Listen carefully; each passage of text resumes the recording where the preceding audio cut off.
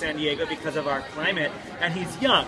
Full size will be 10 to 15 feet, so he will get there eventually. When he's that big, I won't be able to hold him. So I'm glad he's still this size. Otherwise, I can't share him with you. Do you remember your question? Uh, how, how, uh, what kind of type, type of crocodile? Yeah. So he's an alligator, not a crocodile. You can tell if you look at his face. He has a rounded snout. And a crocodile has a long, skinny snout. Now also his teeth. You guys look at his teeth, but don't don't